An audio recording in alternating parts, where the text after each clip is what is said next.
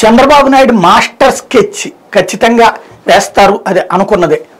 ప్రస్తుతం వినబడుతున్న మాట నిన్న జగన్మోహన్ రెడ్డి గారు ఎమ్మెల్యేలతో మాట్లాడిన సందర్భంలో ఒక డైలాగ్ వాడారు అన్నటువంటిది వినబడుతుంది. ధృవీకరణ కాలేదు కానీ బట్ విశ్వసనీయంగానే ఉన్నటువంటి సమాచారం ప్రకారం మాత్రం ఏది కొంతమంది నియోజకవర్గాల్లో తిరగట్లేదు అన్నటువంటి వాళ్ళ గురించి మీకేంటి అనారోగ్యం ఇవి అని మాట్లాడతా ఎవరెవరు ఏ ఏ పార్టీల నాయకులతో టచ్లో ఉన్నారో కూడా నాకు తెలుసు అన్న. మీరు ఏ ఏ ఫంక్షన్స్కి వెళ్తారు ఎందుకు వెళ్తున్నారు ఇదే అంటే మీరు వెళ్ళనటువంటి వాళ్ళు పబ్లిక్లోకి వెళ్ళనటువంటి వాళ్ళు ఎక్కడెక్కడికి వెళ్తున్నారు ఎవరితో మాట్లాడుతున్నారు ఎవరితో టచ్లో ఉన్నారు కూడా తెలుసు నాకు.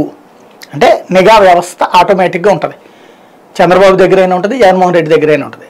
అది ఈయన నాకు మొత్తం గ్రౌండ్ లెవెల్లో అంతా రిపోర్ట్ తెలుసని బాబు గారు ఎట్టంటారు? ఎవరు పని చేస్తున్నారు ఎవరు పని చేయట్లేదు? ఆయనకి ప్రైవేట్ నిఘా వ్యవస్థ ఉంటుంది ఈయనకి ప్రభుత్వ నిఘా వ్యవస్థ ఉంటుంది. అయితే ప్రభుత్వ నిఘా వ్యవస్థల కంటే ప్రైవేట్ నిఘా వ్యవస్థలే పనిచేస్తాయి. ఇక్కడ జ- జగన్కి కూడా ప్రైవేట్ నిఘా వ్యవస్థ ఉంటుంది. ఎవరి పీకే టీం ఉంటుంది.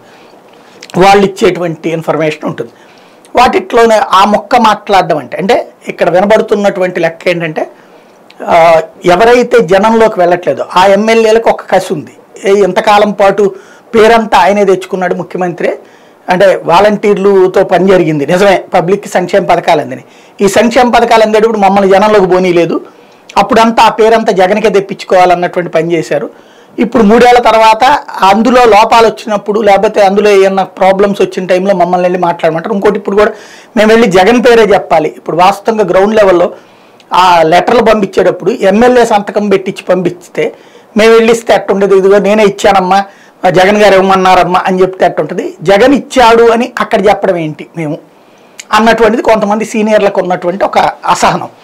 అలాంటి వాళ్ళు ప్రస్తుతం ఈ జనంలోకి వెళ్ళడానికి నిరాకరిస్తున్నారు విరక్తితో ఉన్నారు. వాళ్ళు అవసరమైతే ఈ ఇప్పుడు వెళ్ళి ఏదో ఒకటి అక్కడ ఎవరో ఒకళ్ళు ఏదన్నా పది మందిలో ఎవరో ఒకళ్ళు అయితే మాట్లాడతారు. అలా మాట్లాడినప్పుడు అది ట్రోల్ అయ్యి ఆ ప్రాంతాల నియోజకవర్గాల దెబ్బతింటం ఎందుకు?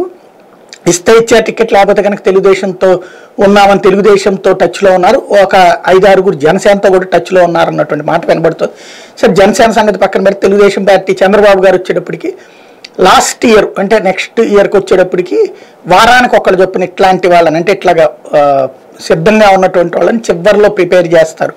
వాళ్ళు ఒక్కొక్కళ్ళు ఒక్కొక్క వారం బయటకు వచ్చి ఇప్పుడు క్రిందటిసారి ఇరవై మూడు మంది ఎమ్మెల్యేలు బయటకు వచ్చి జగన్ వరుసగా ఎట్లయితే టార్గెట్ చేశారో అదే తరహాలో టార్గెట్ చేస్తూ అతని ప్రవర్తన ఇది అప్పట్లో రఘురామకృష్ణరాజు రెండు వేల పద్నాలుగు ఎన్నికలకు ముందు ఆ విధంగానే ఉపయోగపడ్డారు జగన్కి దెబ్బ కొట్టడంలో. జగన్ అట్లాంటోడు తన కాలు మీద కాలేసుకుంటే ఊరుకోడు తన వ్యవహారం అహంకారం అవన్నీ కూడా అప్పట్లో టూ థౌజండ్ ఫోర్టీన్లో ఓ రకంగా జగన్ క్యారెక్టర్ని అటాక్ చేసినప్పుడు ఇదే రఘురామకృష్ణరాజు అలాంటి వాళ్ళని అలాగే ప్రతి ఒక్కళ్ళు అతని క్యారెక్టర్ని ఇదిగో ఎమ్మెల్యేలు అంటే చులకన ఇవన్నీ కూడా మాట్లాడుకొచ్చేటువంటి పని చేస్తారు అన్నటువంటి అందుకోసమని ప్రిపేర్డ్గా ఉన్నారు అన్నటువంటి మాట కనబడుతుంది రాబోయే రోజుల్లో ఈ స్కెచ్ కనుక సక్సెస్ అయితే తెలుగుదేశం పార్టీకి ఈజీ ఛాయిస్ వస్తుంది.